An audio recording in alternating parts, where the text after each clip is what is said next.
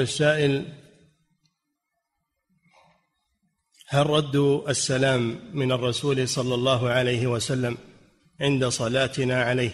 هل هو أمر حسي أم أمر معنوي؟ من أمور البرزخ هذه من أمور البرزخ التي لا يعلمها إلا الله لكن نؤمن بها كما صح بها الخبر. وإن كنا لا نشاهدها هذه من أمور الغيب من أمور البرزخ والقبر. نعم.